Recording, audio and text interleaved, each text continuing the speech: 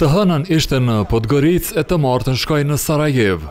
Në këtë turne që e bëri në Ballkanin Perëndimor, shefja e diplomacisë gjermane Annalena Baerbock tregoi për një qëllim që e ka shteti i saj bashkë me Francën e vende tjera për rajonin të cilin po e viziton. Hyrja në Bashkim Evropian të Kosovës, Bosnjës, Shqipërisë, Malit të Zi, Maqedonisë së Veriut e Serbisë e konsideron si çështje fort të rëndësishme. Për ne është e qartë dhe këtë e kemi thënë bashkarisht, se zgjerimi është një nevojë gjeopolitike, por jo vetëm për këtë, por se ne jemi të bindur se kur t'i sjellim në të ardhmen gjashtë shtetet e Ballkanit Perëndimor në BE, kjo e bën Evropën më të fortë. Baerbock po ashtu foli për atë që sipas saj po dëgjon shpesh nga Ballkani se Rusia në këtë pjesë të Evropës udhëheq një luftë hibride.